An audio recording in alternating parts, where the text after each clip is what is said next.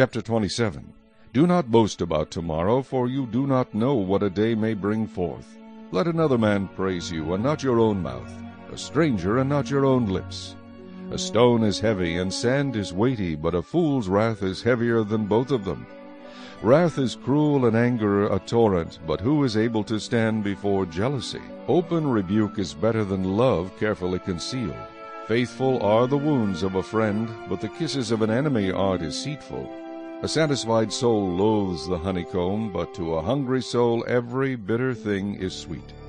Like a bird that wanders from its nest is a man who wanders from his place. Ointment and perfume delight the heart, and the sweetness of a man's friend gives delight by hearty counsel. Do not forsake your own friend or your father's friend, nor go to your brother's house in the day of your calamity. Better is a neighbor nearby than a brother far away. My son, be wise, and make my heart glad, that I may answer him who reproaches me. A prudent man foresees evil and hides himself. The simple pass on and are punished. Take the garment of him who is surety for a stranger, and hold it in pledge when he is surety for a seductress.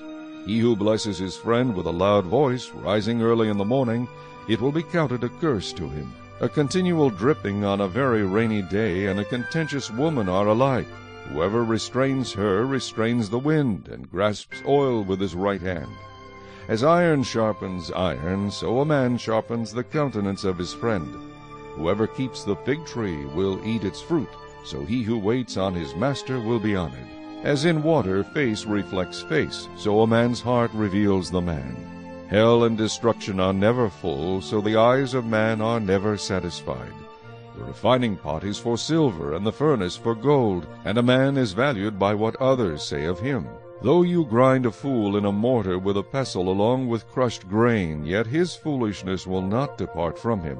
Be diligent to know the state of your flocks, and attend to your herds, for riches are not forever, nor does a crown endure to all generations. When the hay is removed, and the tender grass shows itself, and the herbs of the mountains are gathered in, the lambs will provide your clothing, and the goats the price of a field. You shall have enough goat's milk for your food, for the food of your household, and the nourishment of your maidservants.